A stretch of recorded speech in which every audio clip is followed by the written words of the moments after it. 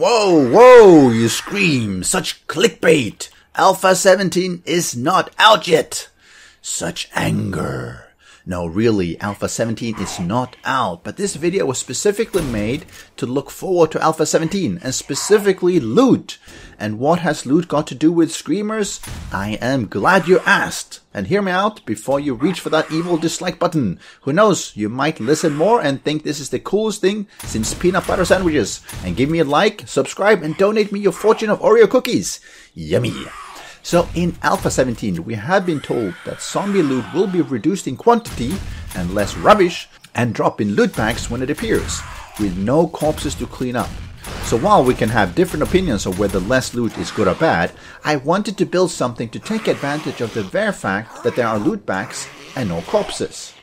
And that brings us to the Screamers, our good friends in the Screamer Corps who shall bring us a steady stream of, well, loot hopefully, and if there is less loot, we need more zombies. And since we don't need to break down corpses, it'll be so much easier grabbing the loot bags that show up. Win-win, except of course for the zombies. So a uh, caveat applies. I am of course building this in Alpha 16, and the Screamer AI is Alpha 16 as well. Though I don't expect Screamer AI to have too many differences in Alpha 17, but uh, maybe the general pathing and such will change. So a quickie on Screamer AI. They show up when enough noise is made in the area, in other words, the heat map. They spawn a couple of hundred blocks away and move towards the location. When or if they see a player, they scream. And based on game stage, that will summon an appropriate scream horde, which will face the player, and if they see you, they will come and try and eat your face. So we want to make sure we make some noise, which is pretty simple with a few forges happily smelting and crafting away, and the screamers will be coming. Now, there are a few ways to handle screamers. We can simply have them walk around. And that works. You could run around and just fight them. Um, but uh, a problem with that is that, well, they'll die just like the other zombies. They'll fall down and they will die. But there are ways to delay or stop them, such as taking off their arms and legs. So we're going to be doing just that. Now you need to make sure that you take off both legs and both arms, because otherwise they can still move. So we're going to start by doing this and let me get my sniper rifle out here. We're going to start by taking out one hand and one leg. Okay, that was a very powerful leg. Take all these shots. Okay, let's take the arm. Okay, let's not take the arm. Let's try to... Okay, arm gone. Foot gone. Wow, that's a powerful foot. Okay, one down. Now the zombie could still crawl. Um, and let me turn back the AI. And you should see that. We'll probably get some screamers. Yeah, you see she screams. And yeah, you saw some. Let's get rid of the AI again. So you have to actually take off all these ones. And I'm going to fly up here just to... Nah, make sure I don't get killed. And you'll see it's laying perfectly still which is uh, what we want. Let me pause that again. Sorry, ma'am. It's for science. So now with the arms and legs taken off, she can scream, but she cannot move. Now, I say she cannot move with a little bit of a caveat here because uh, she can actually wriggle around. If she turns to face the player, she will shift a bit. If she bashes something, or, well, sorry, head bashes or tries to bite, which can happen if she's close enough, she will actually move as well.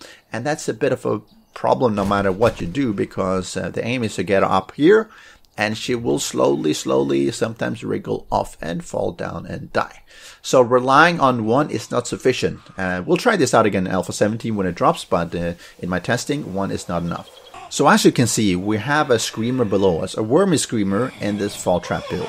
I have fences, I've got shotgun turrets below, and uh, you could have it deeper, you could have dart traps and blade traps and what have you. I just use shotgun turrets because, well, the fall trap was already built. It has an added effect that, as part of my testing, that the noise from the turrets will call in more screamers. So that helps, I don't have to use furnaces to slowly bring them in. And uh, either way, the screamer will scream, call in friends who run towards the fall trap and fall to their deaths. Sometimes they stop aggroing in which case I just jump up or maybe shoot them or climb up the ladders to be more visible and they'll rush in again. Take some caution though, cops can start spitting The bulletproof glass works pretty fine. It has 3000 health points and you can see there's a lot of zombies coming. If we want more, we get within visible view of screamers approach or the one downstairs and you'll get even more spawned. For added benefit, you can try to kneecap them so that they slow to crawl on their approach, which prolongs the time that they can see before they eventually fall down the trap and die. Of course, the wormy screamer below will remain until it wriggles itself off and into the fall trap. So just a quick note on the fall trap. It is a very simple fall trap build. I will link it in the description below. I've simply taken and modified it, putting hatches for entry on the sides and a structure above with bulletproof glass and the iron bars. This gives us a great way to look around while also fighting and shooting. But hold on, what about the loot? Excellent question. Now we don't know the specifics of the loot bag mechanics. I have a ladder down to the bottom of the fall pit, covered by a hatch that Key Nice might have spotted in the corner.